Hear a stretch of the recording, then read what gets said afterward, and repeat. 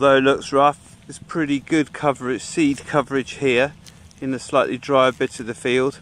We could just cover the slot up with the culti press. The problem is on the other side, we're struggling where there's more mustard. So we're just going to try and get our front press out, see if that makes a difference.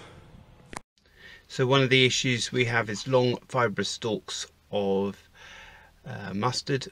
Normally we would have planned to have drilled this with the sky and therefore cut straight through with a disc coulter.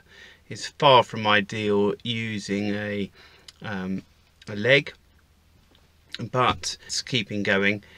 Uh, this is the transition between the lighter land and the heavy stuff. We're getting progressively heavier now and uh, probably we need to stop drilling on the uh, using a Claydon and revert to the sky at this point but it's still very wet. Bit of a difficult decision when to change.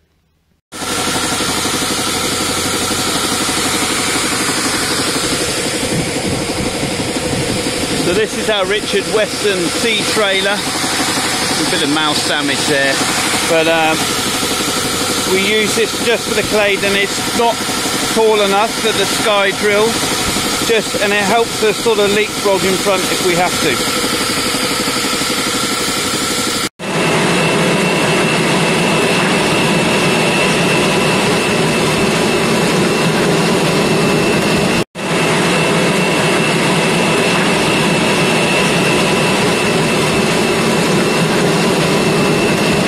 It goes without saying that I would love to have a Claydon drill with the discs mounted on it where we wouldn't have to use the front press discs and get them and the problems associated with getting them to match up with our tines but uh, budgets don't allow. So that's where we are at the moment. Here you can see the unmoved ground between each leg of the Claydon.